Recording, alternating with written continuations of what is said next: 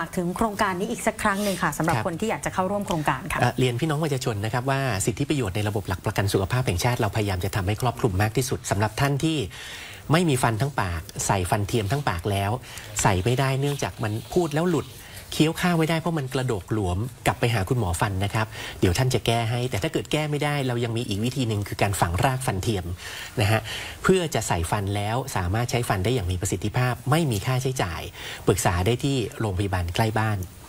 นะครับใช้บัตรประชาชนใบเดียวหรือจะสอบถามสายด่วนสปจ1330 ตลอด 24 ชั่วโมงก็ได้นะครับค่ะวันนี้ไม่เป็นอุปสรรคอีกแล้วกับการที่จะเข้าถึงบริการนะคะ ถ้าเป็นสมัยก่อนการที่จะมีรากฟันเทียม เพื่อที่จะรักษาให้เราสามารถใช้ชีวิตได้ตามปกติ มันคงเป็นสิ่งที่หลายคนบอกว่าเข้าถึงยากเหลือเกิน คนที่มีรายได้น้อยกลุ่มเปราะบางต่างๆ คงบอกว่าถอดใจกันไปแล้ว แต่วันนี้ระบบพวกนี้เข้าถึงทุกท่านแล้วและที่สำคัญฟรีนะคะ